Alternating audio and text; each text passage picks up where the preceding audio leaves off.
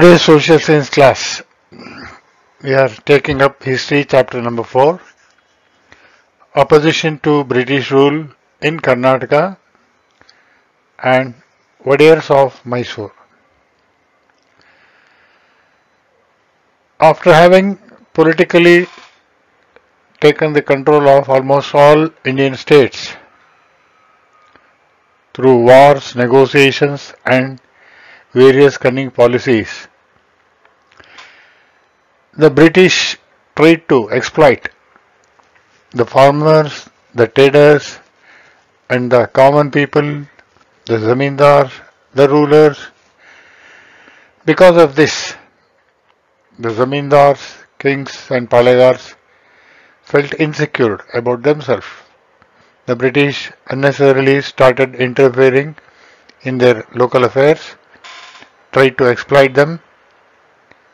This led to rebellion.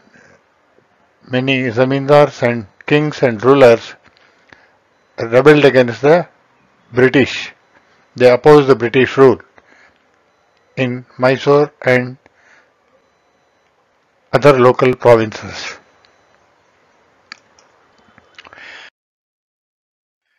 In this chapter, we learn about the famous Wadiyars of Mysore, Hyder Ali and Tipu Sultan, the four Anglo-Mysore wars, and important rulers among the Wadiyars, Dhondiya Wagh, rebellion of Kittur by Rani Channamma and Sangolli Rayanna, rebellion of Halagali Bedas, and rebellion of Surapura.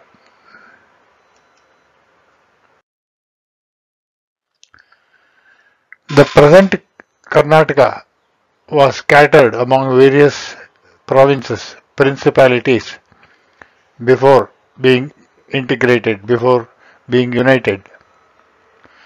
Apart from establishing political supremacy during the later part of 18th century, the British exploited people in agriculture and trade in order to protect their own interests. These exploitations created insecurities across Karnataka. The local kings suffered insecurities. As a result, rebellions against the British happened in most of the Karnataka. In the beginning, the zamindars and the kings battled against the British individually without attaining any unity among themselves.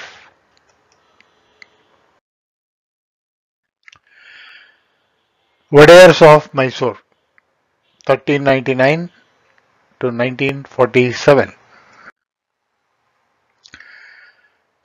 After the fall of Vijayanagar Empire, its traditions and the last glory was revived and continued by the Wadiyars of Mysore. The Wadiyars of Mysore continued the glory of Vijayanagar Empire, Vijayanagar Empire after its fall. Hadinadu, a Palepattu near Mysore town, was ruled by Chamaraja, a feudatory of Srirangapatana, Mandalika. He died without any sons and Dalavai Maranayaka of Karugalli looked after its administration after the death of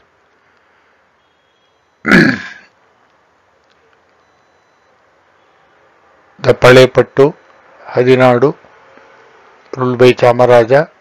He was a feudatory of Srirangapatana. He died without any issues, any sons, and the Dalavai Maranayaka of Karugali administered it and he demanded the princess in marriage to him. He, man, he demanded that the princess be married to him, but nobody agreed for it. Around the same time, Yaduraya with his brother Krishnaraya from Dwaraka of Gujarat came to Mysore. Coincidentally, Yaduraya and his brother Krishnaraya from Dwaraka of Gujarat came to Mysore. Voluntarily, Yaduraya came to help the Maharani and killed Maranayaka. This pleased the Maharani, who gave her daughter in marriage to him. Thus, the Wadar dynasty was started. Who started the Wadar dynasty? Yaduraya and his brother Krishnaraya, who came from Gujarat, Dwaraka, started the Wadar dynasty. This Wadar dynasty was ruled by 25 Wadayars starting from Yaduraya to Chamaraja Wadayar. Let us now understand some of the important Wadayars. Raja Wadayar, 1578 and 1617. The credit of expanding the small Palayapattu into a large Mysore goes to him. Srirangapatana was captured from the representatives of Vijayanagara and made it as his capital. Further, the surrounding areas were occupied and expanded his kingdom.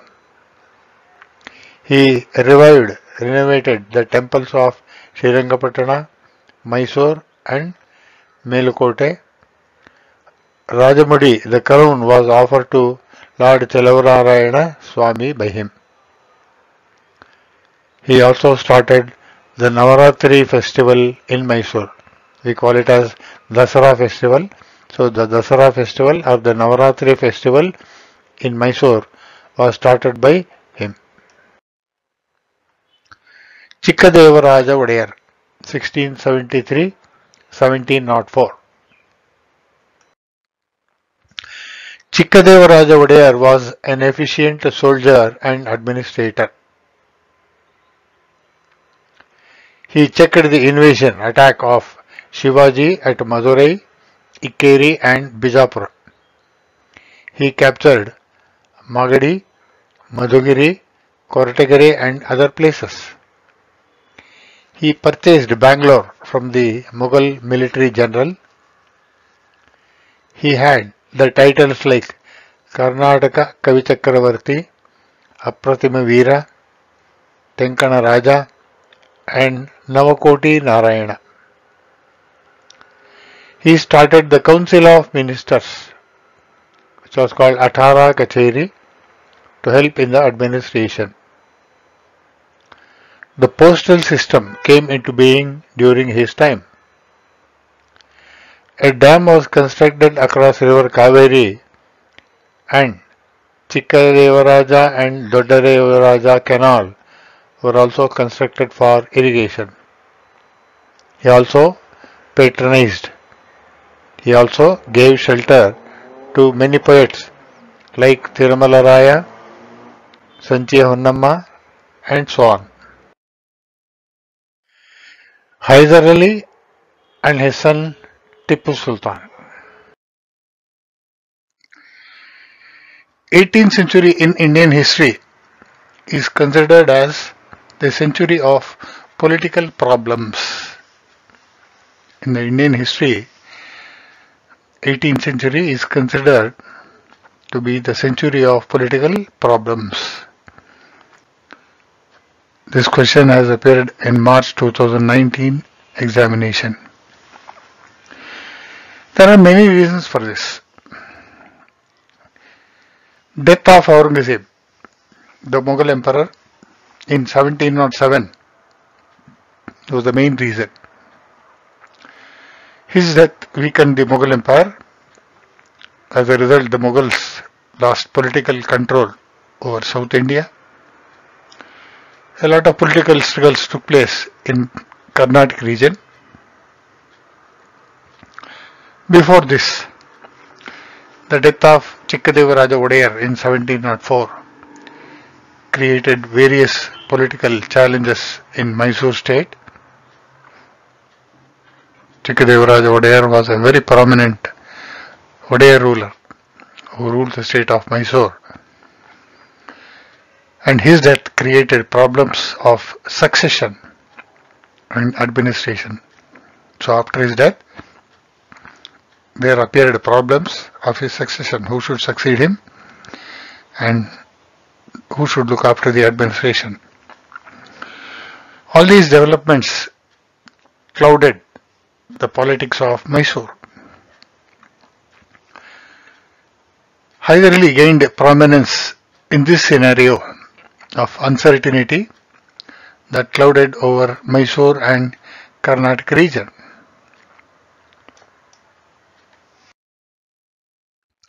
Hyder Ali soon became popular in using arms and experiments.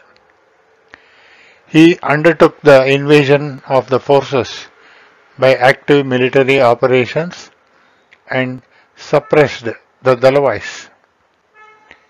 He imprisoned Krishnaraj Odair too and kept him under house arrest and took over the power. He became famous as Nawab Hyder Ali in a short time.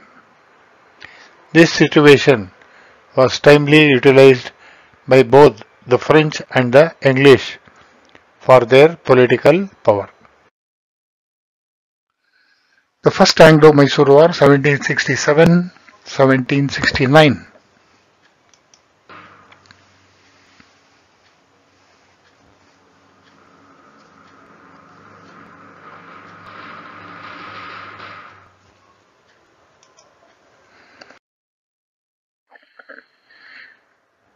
The First Anglo-Mysore War started in 1767 and ended in 1769. The prominence gained by Hyder Ali in the south was not tolerated by the, the British, Marathas and the Nizam of Hyderabad. Hyder Ali had become very prominent, very strong. So it was not tolerated by the British, the Marathas and the Nizam of Hyderabad. Hence, the British started devising cunning plans to defeat Hyder Ali, whom they saw as impedance, obstacle for their expansionist ideas. Though Hyder Ali suffered due to the Maratha aggression, he made attempts to have Marathas and Nizam of Hyderabad on his sides, but with little success. He was not successful. The First Anglo-Mysore War. The British entered into an agreement with Marathas and the Nizam of Hyderabad against Hyder Ali. So a tri-party alliance emerged in which three parties, the Nizam of Hyderabad, the Marathas and the British. But Hyder Ali, with his manipulative ideas, was successful in breaking the alliance. He also created enmity and distrust among Marathas, Nizam of Hyderabad and the British. Meanwhile, in the meantime, political disturbances emerged in Arcot in 1767, Hyder Ali and Nizam of Hyderabad attacked Arcot. But the king of Arcot had an alliance with the British. So the war started with this incident. The battles took place in Tiruchirappalli, Tiruvannamalai, Ambur and other places. Hyder Ali organized lightning attacks in the battles. The British military captured a few places. Hyder Ali suffered few setbacks. The British military from Bombay joined the war. Hyder Ali considered the war as a challenge to his personal power and he continued with the war.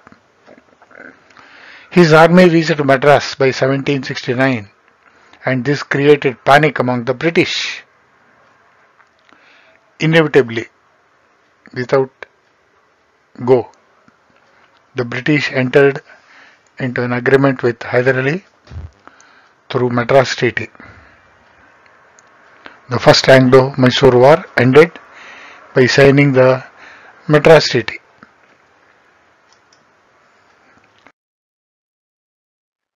Second Anglo-Mysore War 1780 and 1784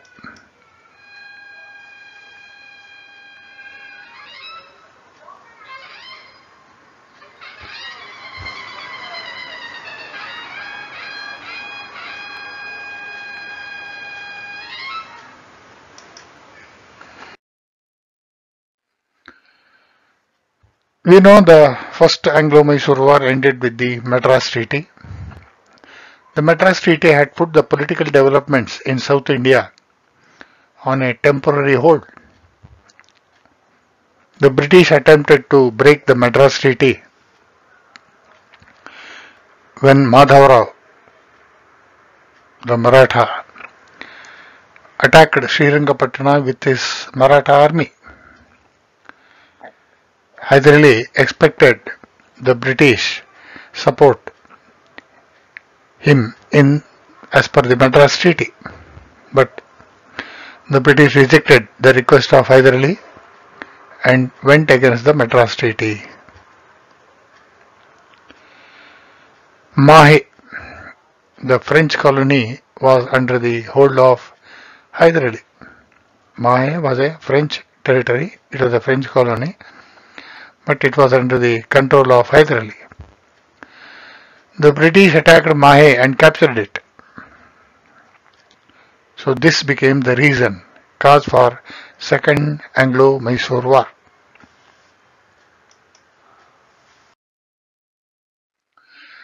The Second Anglo-Mysore War started in 1780.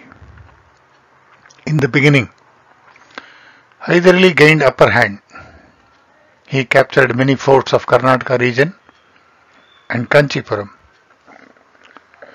Mysore army reached till Coromandel beach, Coromandel coast. The British became worried. Hyder Ali attacked Arcot and captured it. He also threatened to attack Vandivash and Vellore. An army was kept standby by the British and it was led by Sir Coote. He followed Hyder Ali's army till Pondicherry. The French refused to support Hyder Ali against the British.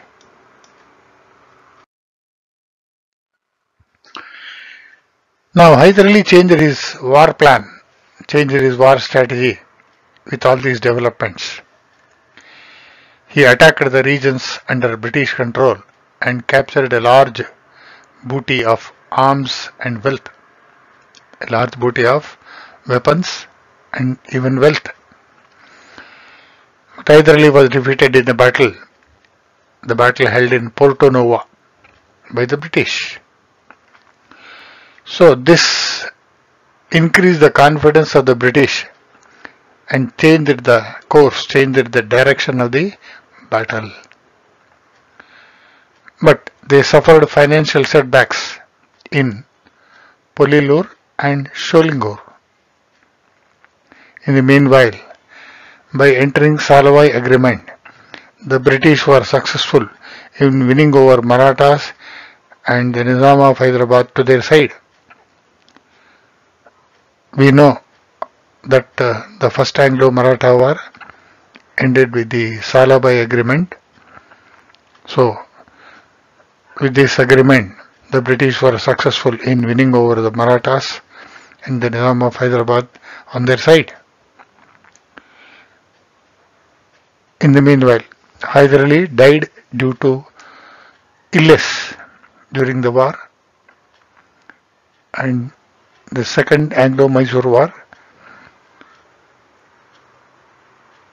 was led by his son Tipu Sultan.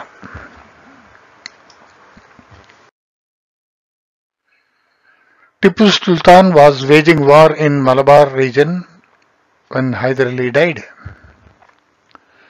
The British tried to take advantage of Hyder Ali's death by attacking, by invading Mangalore and Bidanur. They also tried to instigate the rulers of Calicut and Malabar regions against Tipu Sultan.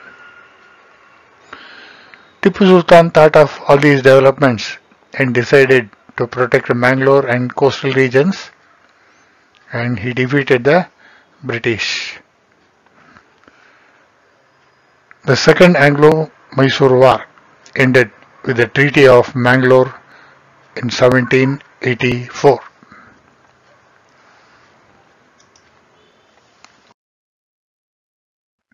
Tipu Sultan Tipu Sultan felt that British are a major hurdle, a major obstacle for his policy of expansion. So, he tried to drive them out seriously. He became the ruler of Mysore after Hyder death. He understood the cunning policies of the British. He considered it as his duty to drive the British out of India. He waged war against the British throughout his 17 years of rule.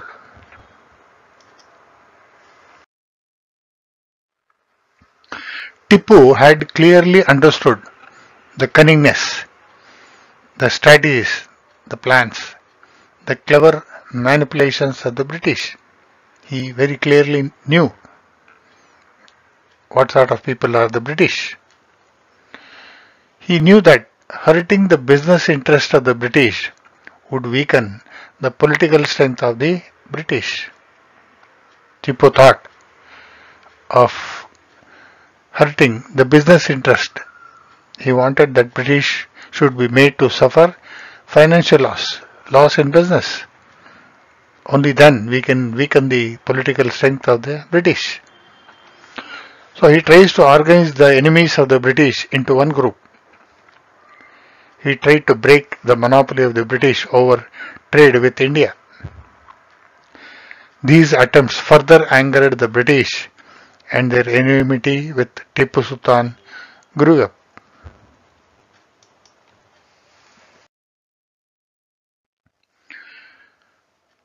Third Anglo-Mysore War 1790 and 1792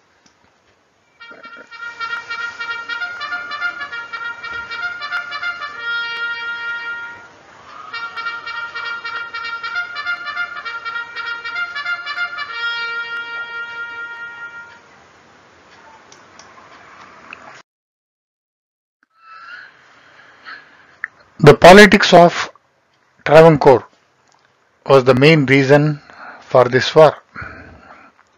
The politics of Travancore was the main reason for the Third Anglo-Mysore War.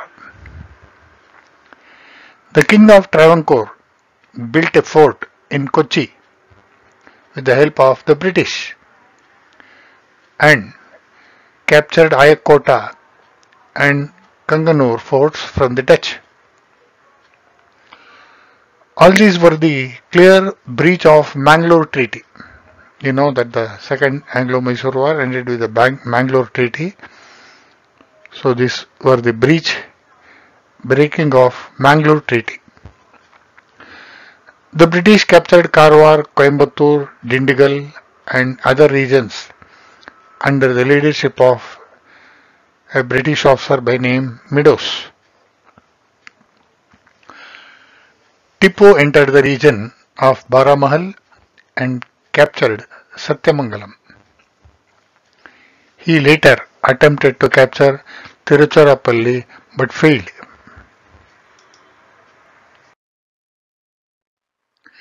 Meanwhile, Lord Cornwallis took over the leadership of the British Army and this changed the course of the war. The British Army captured Kolar, Hoskote and rushed towards Bangalore under the leadership of Lord Cornwallis. the army captured Bangalore and destroyed the fort. After capturing Bangalore, Cornwallis sought the help of Marathas and Nizam of Hyderabad with the intention of defeating Tipu. The war took another conclusive turn with the joining of Marathas and Hyderabad forces with the British. The Marathas captured Savanur, Gajendragad, Lakshmeshwara, Hubballi and other places.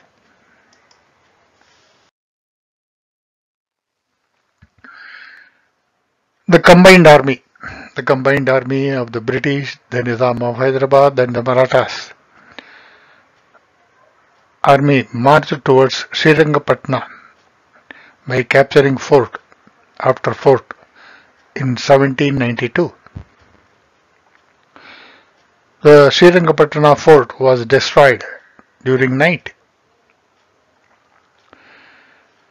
Disturbed by these developments, Tipu tried to enter an agreement with the British. It was inevitable for him.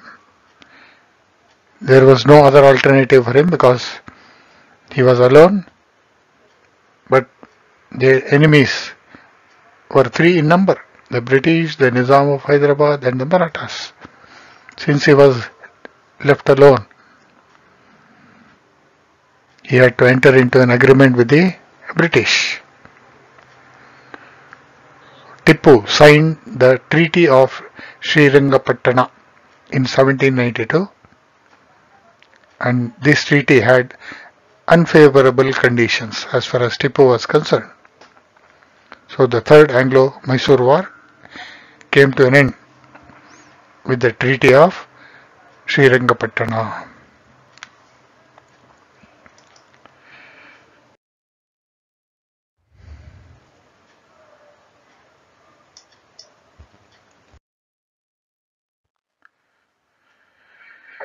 In this treaty, the British were successful in inserting unfavorable conditions in order to weaken Tipu. What were those unfavorable conditions in the Treaty of Srirangapatna of 1792?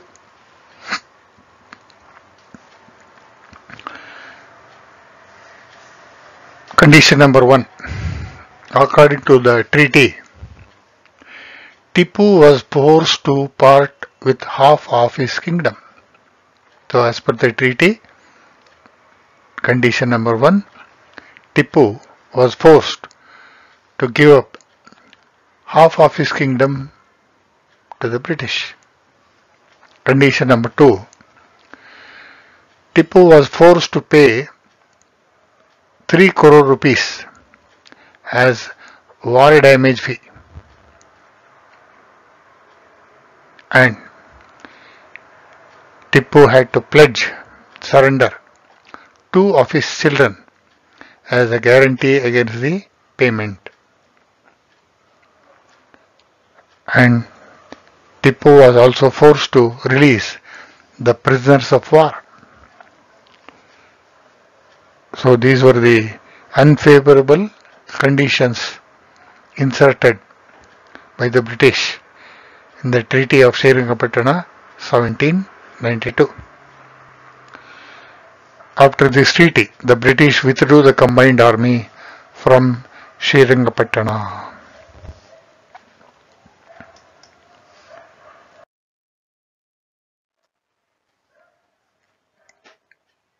This is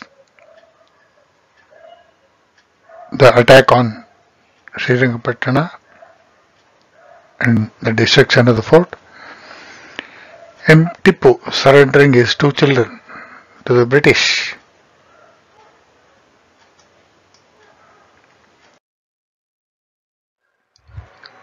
The Fourth Anglo-Mysore War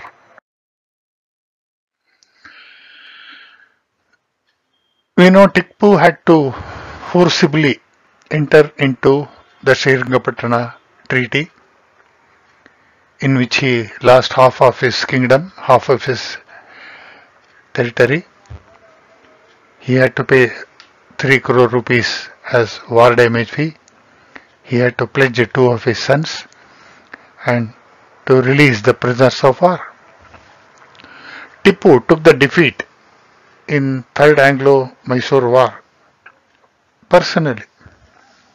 He took it very seriously. He paid all the dues, whatever dues were there. He paid all the dues and got his children released. He also gave away the territory to the British and its allies as agreed. And after that, he claimed his right over the Malabar regions under British occupation. Malabar region was under the British control and Tipu claimed his right over the Malabar region. But British refused this argument. Lord Wellesley, who was the Governor General of India at that time in 1798, political activities against Tipu became intensified during this period. Tipu's attempt to form an alliance of local rulers and his closeness with the French angered Lord Wellesley further.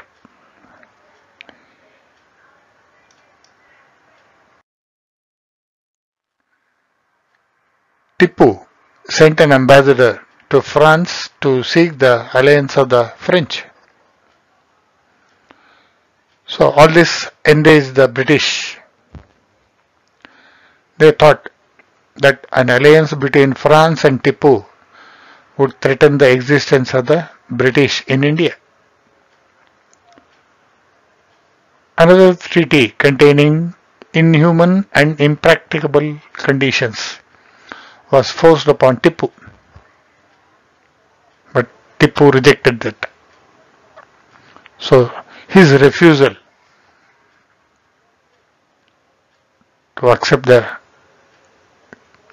treaty started the Fourth Anglo-Mysore War.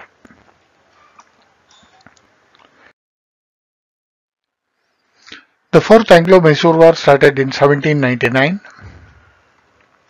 The British were able to destroy the strong fort of Srirangapatna.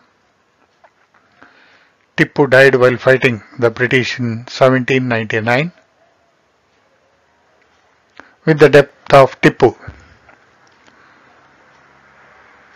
the British were so happy as if the whole India came under their rule. Most of the territories under Tipu's rule was shared among the British, the Marathas and the Nizam of Hyderabad.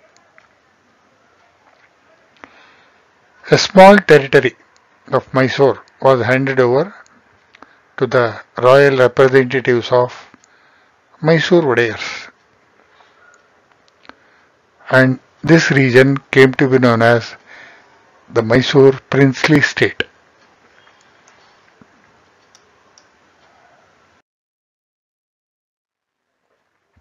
Death of Tipu Sultan in 1799 during the Fourth Anglo-Mysore War.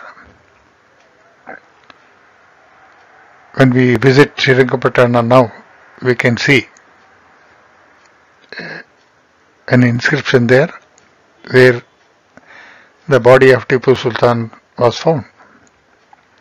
And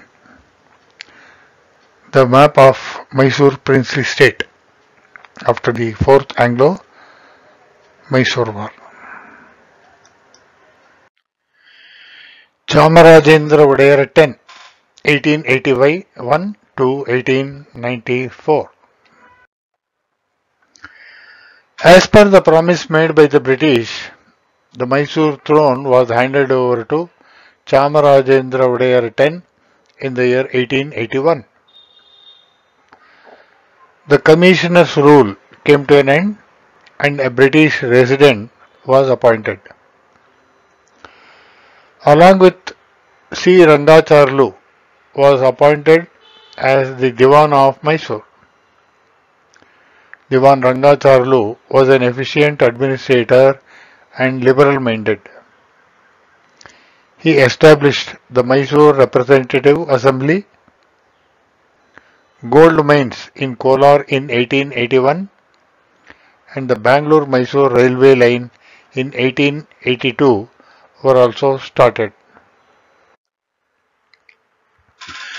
After the death of Rangacharlu in 1883, Sheshadri Iyer, K. Sheshadri Iyer became the Diwan of Mysore.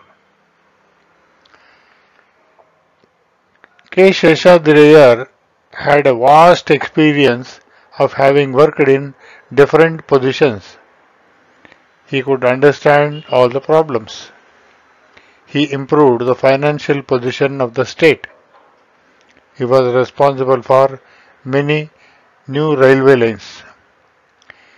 In order to select the talented youngsters for various administrative positions, he started the Mysore Civil Services examination. He gave importance to, more importance to irrigation. Special importance was given to girls' education by establishing Maharani's Girls' High School. Chamarajendra Odayar gave shelter to Vivekananda, Swami Vivekananda when he came to Mysore and also helped him to participate in the Parliament of World Religion at Chicago. As he had a love towards Kannada and Sanskrit, he gave shelter, he patronized many scholars. Basappa Shastri was an important scholar among them who had written many books and was also known as Abhinava Kalidasa and he had composed the Mysore state anthem, the state of state anthem of Mysore called Kayo Sri Gauri. Kayo Sri Gauri was the anthem of Mysore composed by Abhinava Kalidasa Sri Basappa Shastri. Krishnaraja Odayar 4, 1894 to 1940. The Queen Regent Vani Vilasa Sannidhana Kempananjamani looked after the administration. He was helped by the Divans and the Advisory Council which led for many developmental works. Reforms in gold mines, establishment of colleges, construction of Mari Kanive Reservoir, railways, hospitals and hydroelectric project across Kaveri at Shivanasamudra were started during his regime. Electricity was supplied to Kolar goldfield gold mines and also to Bangalore. Bangalore was the first city to be electrified in India in the whole country. Krishnaraja Odayar assumed personal power in the year 1902. He was lucky to have the illuminary services of Diwans like Diwan P.N. Krishnamurti, V.P. Madhavarao, Sir M. Vishweswaraya, Kantaraj Aras and Sir Albion Banerjee, Sir Mirza Ismail and others. He was very much interested in spreading education among his people. He abolished fees in all primary schools to develop primary education. He helped in girls' education. He started the University of Mysore and also started scholarship to the students continuing education in foreign countries. In 1905, the Indian Institute of Science was established at Bangalore with the help of Sri Tata. It was then called the Tata Institute. Now it is called the Indian Institute of Science. Special attention was given to the development of irrigation. A barrage, a small dam, a barrage was constructed across river Kaveri near Belagula. New railway lines were laid. Many small and large scale industries were started, among them the iron and steel factory, cement factory, paper mills at Bhadravati, sugar factory at Mandya, sandal oil factory at Mysore, and soap factory at Bangalore. Chemical and fertilizer factory at Belagula and so on. Legislative Council was formed which was a great step in the legislative measures. Krishnaraja Wadeyar was a simple-natured and efficient administrator.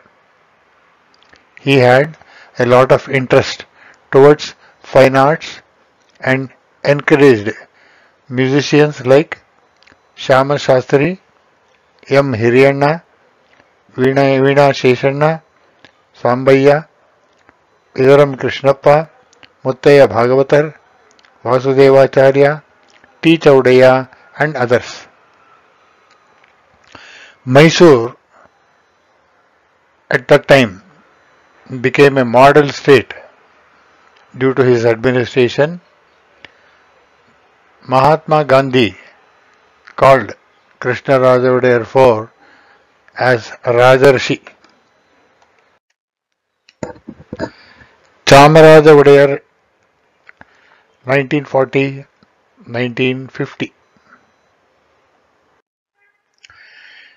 Jayachamaraja Wadeyar came to the throne after the death of Krishna Krishnaraja Wadeyar IV.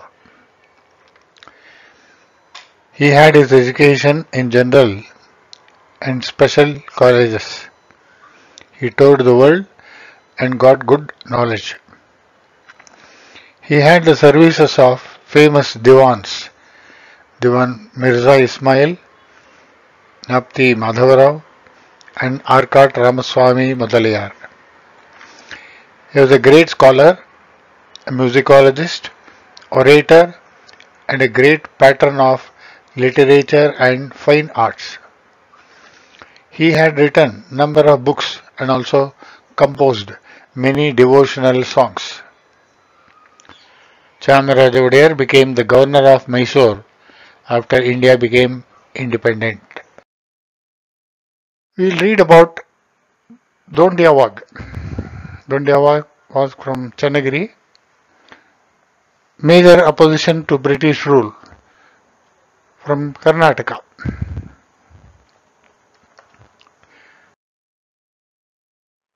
Dhondiya Wagh 1800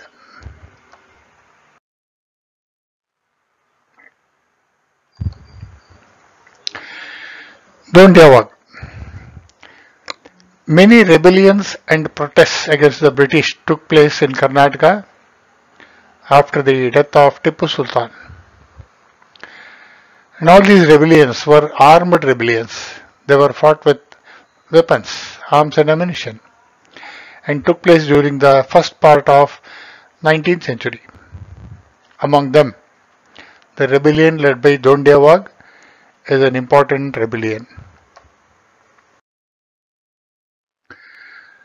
Dhondiya Wagh Dondiawag was born in a Maratha family of Channagiri. He was very popularly called as the Wagh, which means the tiger, due to his bravery. He started his career as a cavalry soldier in Hyder army and grew to the position of military general.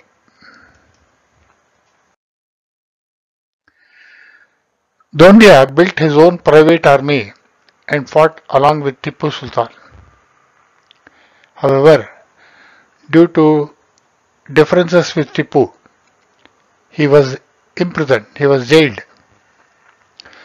The British released him from prison after the Fourth Anglo-Mysore War, that means after the death of Tipu Sultan.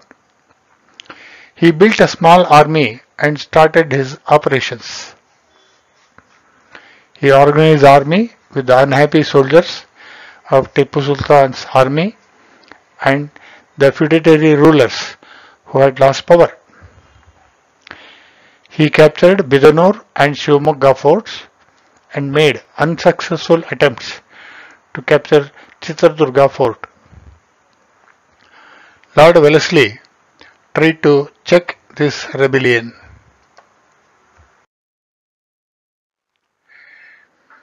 An attack was organized on Shivamogga, Honnali, Harihara and other places under the control of Dhondiya. Dhondiya lost his base. After the capture of Shikaripura, Dhondiya ran away towards Gutti, which was under the control of Nizam of Hyderabad. When the Nizam's army attacked Gutti, Dhondiya had to run towards the regions of Marathas. The Marathas army attacked him and captured most of his horses, camels and arms. In spite of these, he continued his warfare. Many unhappy Palegars encouraged Dhondiya Wagh. The French at the Mahe of Malabar also extended their support to him. The British army followed him in the vast area that included Harihara, Chitradurga, Shikaripura, Savanuru, Ranibennur, Kittur and Londa. The British took over the Shirhatti, killed many followers of Dhondiya Wagh.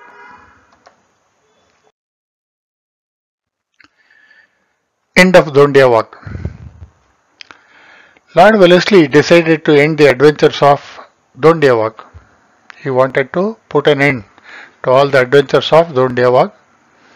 The British now requested the help of local rulers. Dhondiya had captured, recaptured Shikaripura fort and he was scattered by the British army again. The British tried to defeat the army of Dhondiya which used to move in the area between Tungabhadra and Malaprabha. They attacked him from all the directions. He was followed by them when he left Raichur. When he was caught between Maratha army and Nizam's army, the British attacked him near Yelaparvi and killed him at Konagal. With the defeat of their leader, the followers of Dhondiya scattered. The British captured a large cache of arms and ammunition.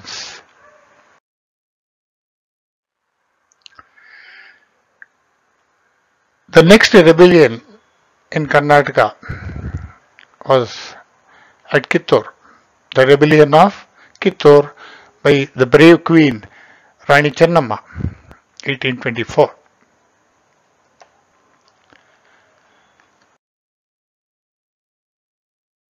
Rani Chennamma, her fort which is now in a ruined stage, this is the ruins of Rani Chennamma's fort.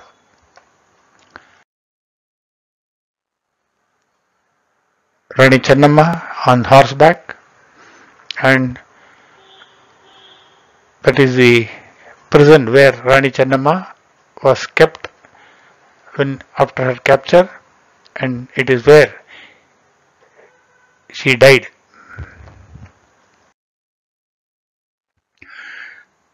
The British brought in many changes in administration after defeating the Marathas, Tipu and Hyder Ali.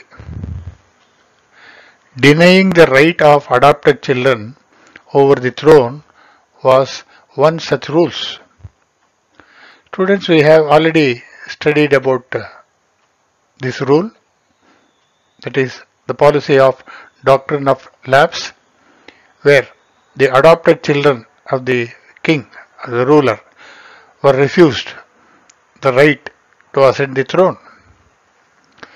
So the rebellion led by Chennamma, the queen of Kittur, opposing this law is a prominent one. She opposed the policy of doctrine of lapse. Kittur lays between Dharwad and Belgaum. After the death of her husband, Malla Sarja, Chennamma, the queen, took active interest in the administrative matters. After the death of Malla Sarja, his son Shivalinga Rudra Sarja took over the control, the reign of Kittur. Due to his failing health, Channamma had to take care of the day-to-day administration.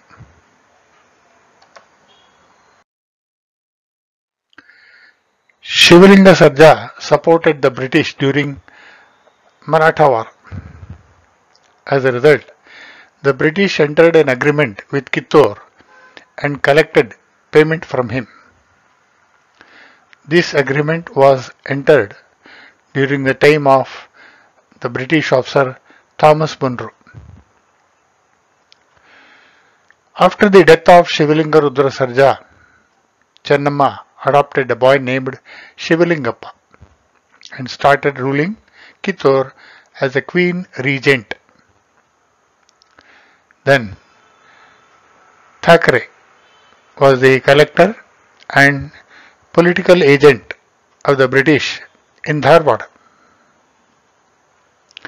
He sent a report to the governor of Bombay and attempted to take over the kingdom under the doctrine of lapse policy.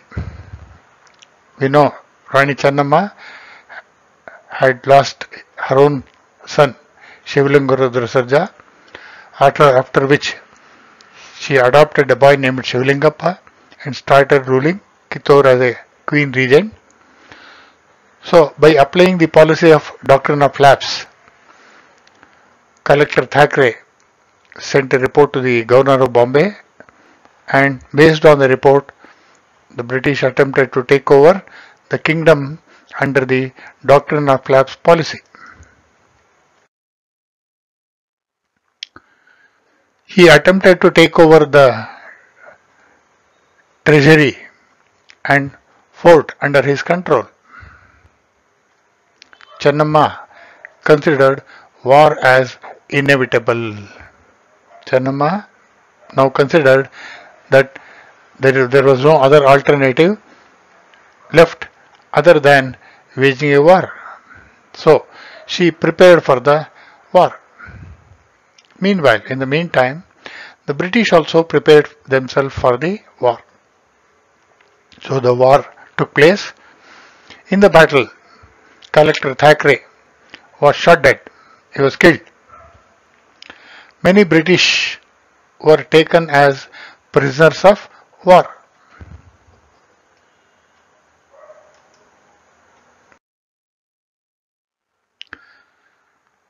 The British attacked Kittur again under the leadership of Colonel Deacon.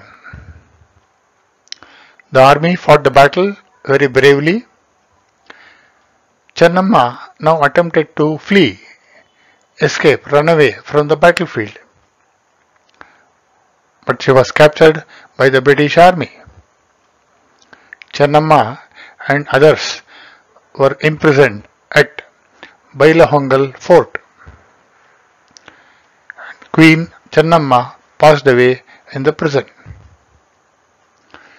You can see on to your right Bailahongal fort and the prison where Rani Channamma was jailed and spent her last days and she died in the prison.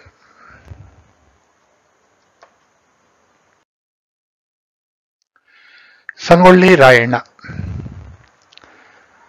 The name Sangolli Rayanna has remained famous along with the name of Rani Channamma. He fought for the independence of Kittur and felt it was his duty to liberate his motherland. Rayanna fought against the British and was imprisoned along with her.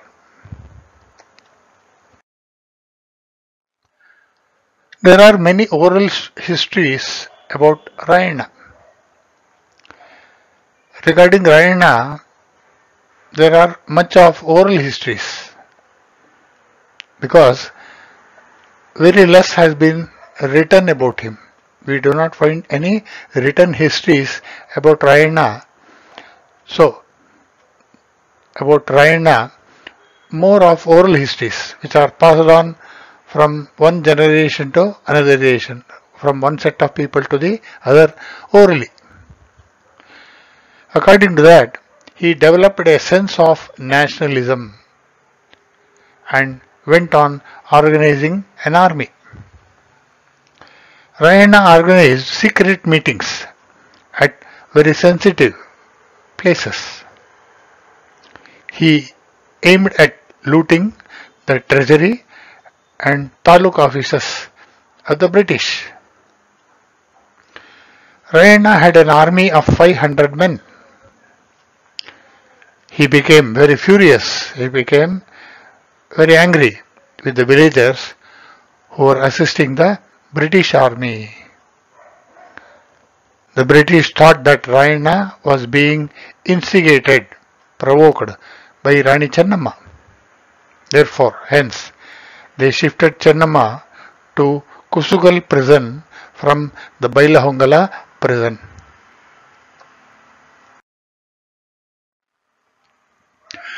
The British devised a cunning strategy, a cunning plan to capture Rayanna. They encouraged the Desais who were opposing Rani Chennamma, an Amaldar named Krishna Raja joined hands with the British. Thus, Rayanna was cunningly captured and brought down to Dharwad. Many of his soldiers surrendered after his arrest. Rayanna was declared as an offender and was hanged to death. Many ballads have kept the life and bravery of Rayanna alive even today. Many short songs comprising of the life story of Rayanna are even alive, even they are sung today. Students, on the right side of your screen, you will find a huge tree. It is a place where Rayanna was hanged to death and uh, a memorial has been constructed by the authorities.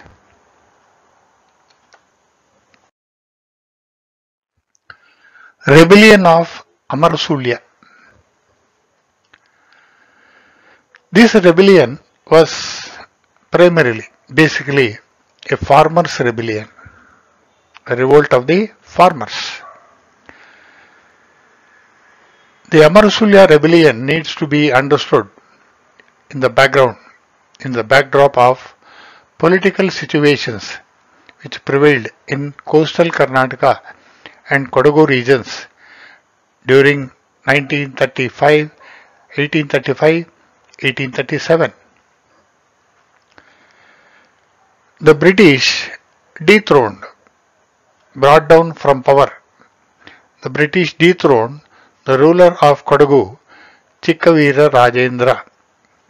Chikkavira Rajendra belonged to the Haleri dynasty in 1834.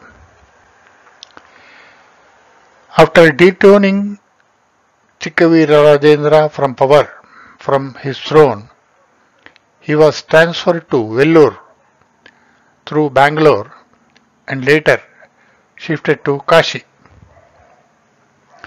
This incident created political instability in Kodagu. Swami Aparampara, Kalyana Swami and Puttabasappa organized a rebellion against this incident.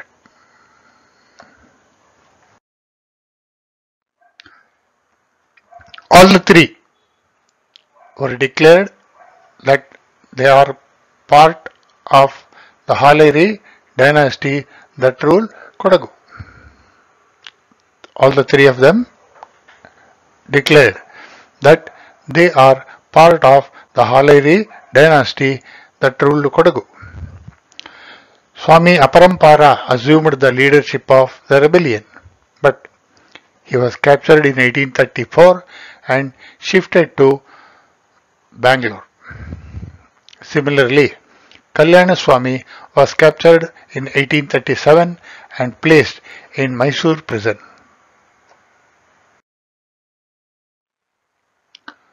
Puttabasappa The people of Lower Kodagu continued the rebellion after the capture of Kalyana Swami. Sulia, Bellare and Puttur, the major places of Kenara region, were part of Amarasulia.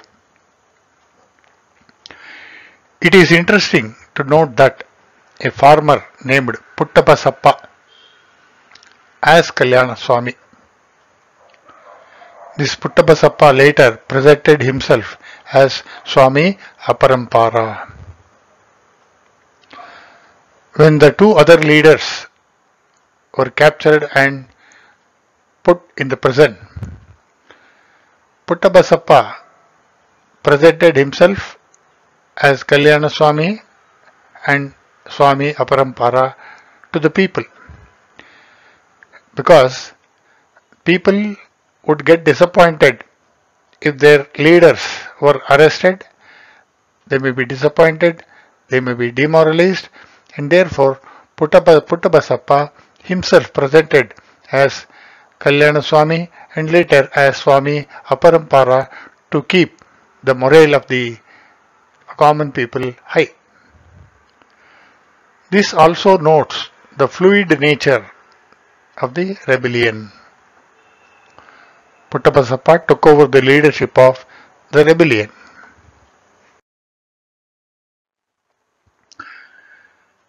The rebellion started in hilly region. Puttabasappa organized the rebels and calmed down the people. He declared that tax on tobacco and salt will be withdrawn if the rebel government comes to power, if the rebel government assumes power. The rich farmers, the landowners and local chieftains, local chiefs were assured of this move. The capture of government office in Bellare was the first move, the first step in this rebellion. Puttabasappa killed an Amaldar who was known for his brutality. That Amaldar was very cruel, he was very brutal. So Puttabasappa killed that Amaldar. This further increased the popularity of Puttabasappa. This incident gained more support for the rebellion and the rebellion became more famous.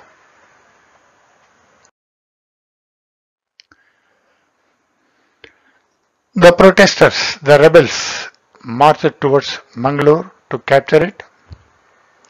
The British were engaged in fortifying their fort in Mangalore. The rebels marched towards Mangalore through Pane Mangalore and Bantwal. There they looted the treasury and prison of Bantwal.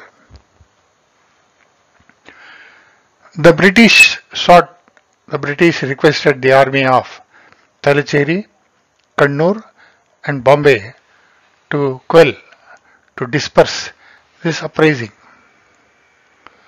On hearing this development, Puttabasappa and his associates fled, ran away towards Sulia. The British captured them with the help of people in Kodagu.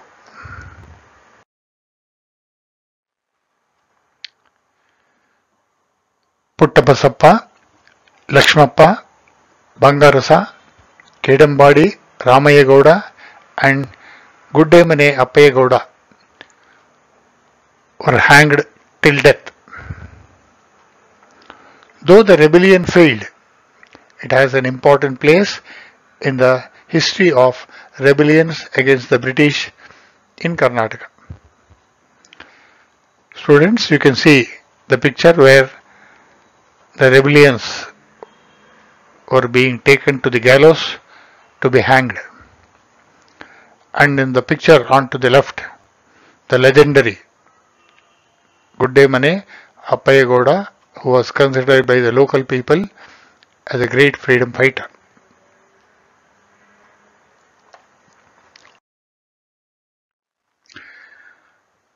The next rebellion was of Surapura and Koppal. Surapura and Koppala. Surapura. Surapura is at 50 kilometers from the present Yadgir. This was an important place since the rule of Mughals.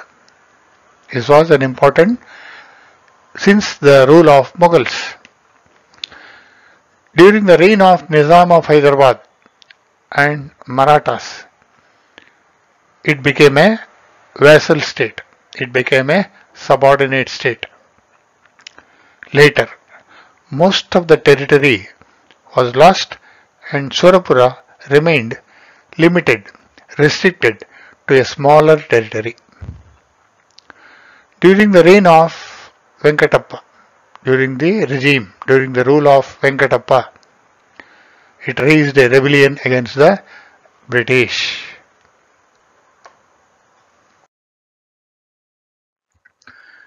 This was Venkatappa Nayaka of Surapura and these are the present ruined images of the Surapura fort.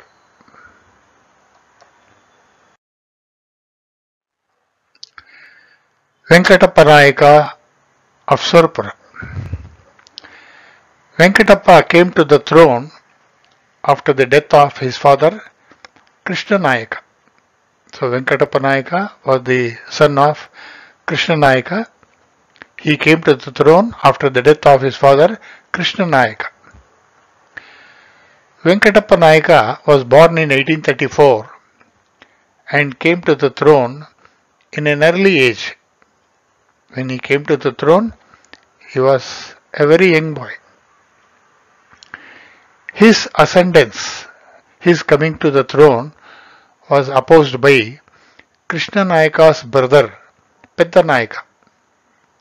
Krishna Nayaka's brother, Pedda Nayaka, opposed Venkatappa Nayaka ascending the throne.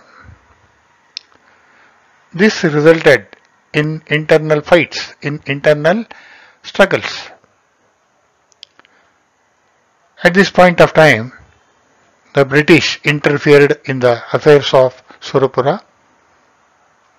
In 1842, the British appointed an English officer by name Meadows Taylor as their resident and thereby gained proxy power over Surapura.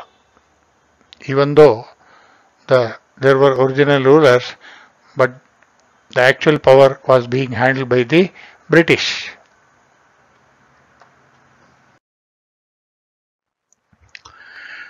Meadow Taylor was a reformist. He was not a conservist. So after becoming the resident, he tried to bring some reforms, some good changes. So Meadow Taylor developed Surapura princely state. He took interest in developing the Surapura princely state and Peddanayaka was appointed as the Diwan of Surapura, the Diwan of the state and Taylor also conducted land survey of the kingdom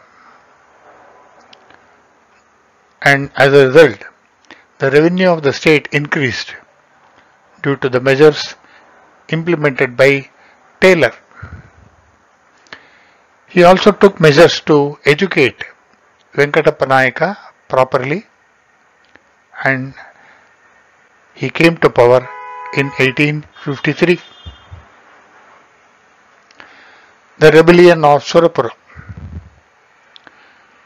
The British government was observing the various developments of Surapura. In 1857,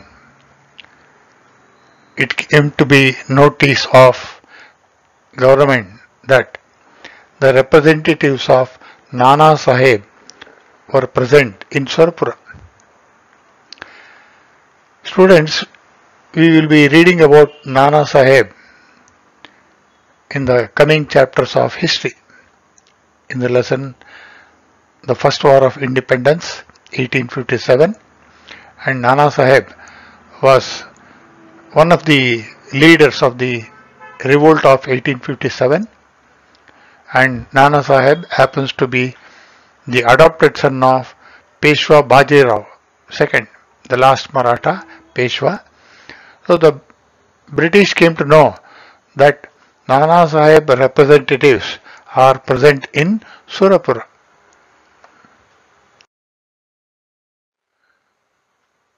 This made the British suspicious of the king's intentions. They doubted the king's intention. The British appointed an officer named Campbell to report on various activities of the king. The officer submitted a report to the resident of Hyderabad that the king is involved in maladministration. Venkatappa Nayaka is usually presented as the leader of 1857 revolt in Karnataka by the historians. The British army captured Surapura in 1858. The war continued, but there is confusion regarding Venkatappa Nayaka's end. It means historians have not found definite evidence regarding how the life of Venkatappa Nayaka ended.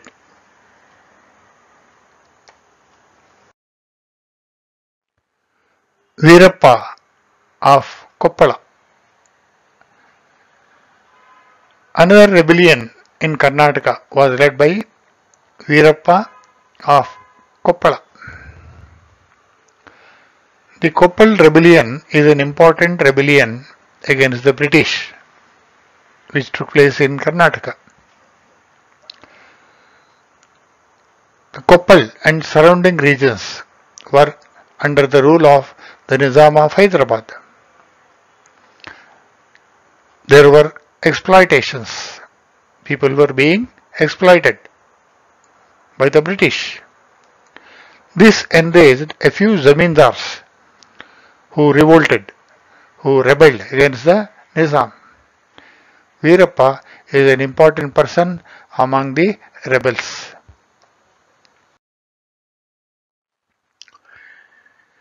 Veerappa, who was a zamindar, rebelled against the British and occupied the fort of Koppal and other forts in the vicinity.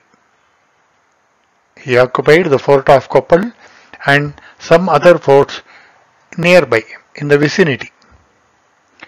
Many farmers and zamindars supported after realizing his intentions, his motives. The British contacted the Nizam and employed their army to defeat Veerappa. Veerappa, who had lesser soldiers, died fighting the British army. After his death, the British captured back the Koppal fort. Though this rebellion was short-lived, though this rebellion was very short one, but Veerappa proved himself to be a good warrior, to be a brave warrior.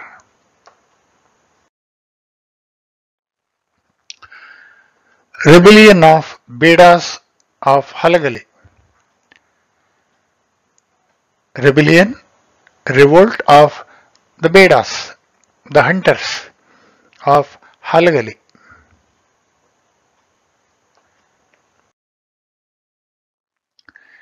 Halagali is a small village of Mudhol Taluk of Belgaum district. Halagali was a part of the Mudhol Principality, Mudhol princely state. In 1857, the British banned the usage of weapons. The British banned use of weapons.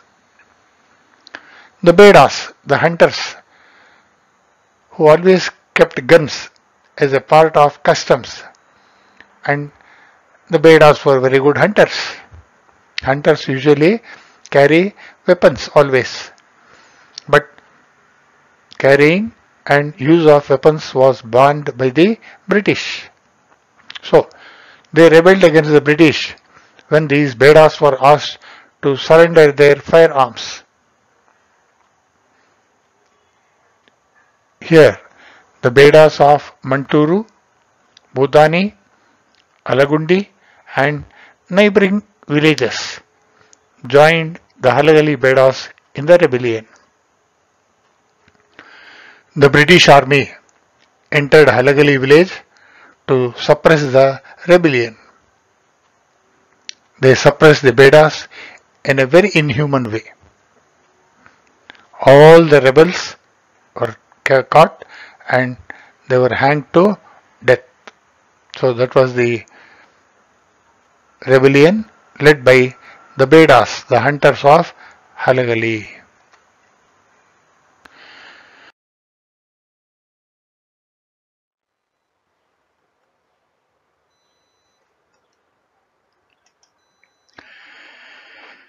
Students, that is the end of history chapter number 4, opposition to British rule in Karnataka and Wadiyars of Mysore. In our next class, we shall take up another chapter in another area. Till such time, please take care of yourself. Have a good day. Thank you very much. Thank you.